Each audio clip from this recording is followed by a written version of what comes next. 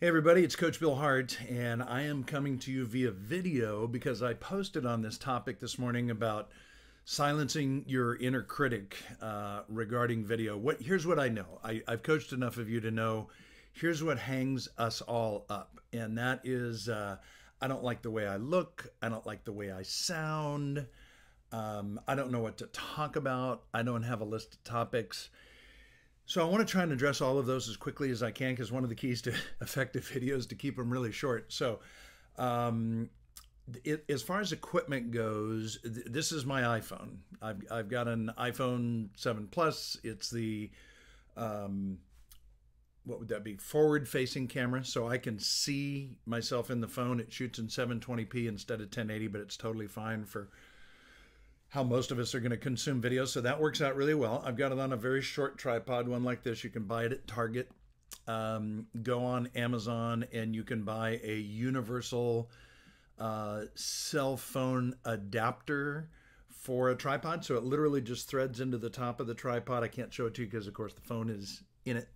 Um, and it just clamps onto the phone, right? So it just holds it. You can see when I put my hand up in front of my face there are shadows there, and that's because there's a light on the other side of me on a large tripod that sits about four feet, four and a half feet high, and it's a little LED light. And if you literally just go on Amazon and, and search for LED light for video, this one is 39 bucks. It was given to me as a gift by my friend Ray Eichhoff. Shout out to the Bald Eagle Ray. Very kind of you a couple of years ago. Thank you. I use it all the time and it's great because the, the things that people don't think about in video are they'll open up a laptop and shoot it from the camera and you're shooting up your nostrils and the background of the ceiling tiles behind you. Not a good an, an, angle. So get the get the camera at eye level. That's number one. Think about your background. That's number two.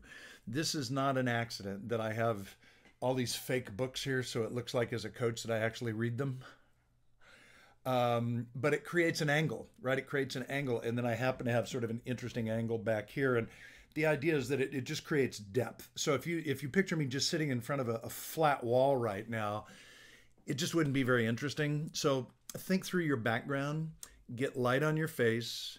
Uh, get a good mic that I can hold up. It might sound a little funky as I maneuver it here, but this is the one that I use. It's a an Apogee. I bought it um, at the Apple Store. Again, you can get this on Amazon. It just plugs into my phone. That's all there is to it. But you can you can get them for thirty dollars. You you just need a good mic. Don't rely on the microphone on your phone. Um, it will it will make a world of difference in your video. And I'm just sort of sharing all the little things that. Uh, that I've learned over the years. I think those are the basics. The way that I edit them, this always comes up. Uh, I'm a Mac guy, haven't owned a PC in years.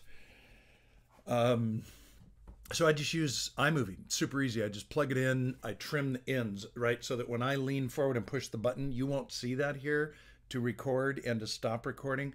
I just pull those and, and trim those out so that all you see is me starting to talk. You can also do that with a remote. I have one. I just don't use it. It's easier for me to just do it in iMovie. I drop in a fade to black at the front, fade to black at the end, and it's not so abrupt. Uh, and then titles. I'll just I'll just drop in a title, and I always end with my website, CoachBillHart.com.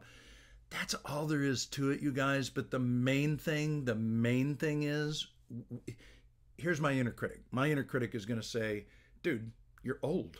You have gray hair, you're wrinkled, your internal image is you're 35. Who's this guy? For you, it might be your weight. You might think your voice is too high. Um, Chris Hall, shout out to you, Chris. Uh, today I thought this was great on Facebook. You said when you first did video, you felt like your voice was too deep. I don't know it's working out okay for James Earl Jones, just saying. Um, and Barry White and Trace Atkins, go with the deep voice. It's okay. Anyway, get over it. And as my friend Kai McBride commented this morning, um, remember that the person that you see on video is the person that sees you in your office, at Starbucks, or any time that they get together with you. So the, forget the whole camera adds 10 pounds thing, by the way. Those days are over. What you see is what you get. And if you don't like what you see, do something about it.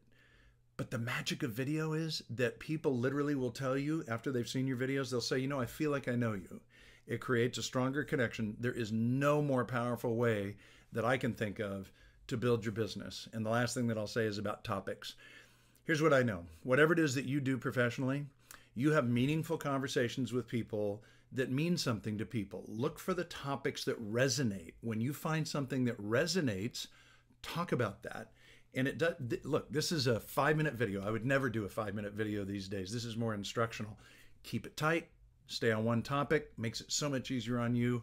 Cannot wait to see your videos. Rock it! Silence that inner critic. It's standing right there on your shoulder. Just go like this.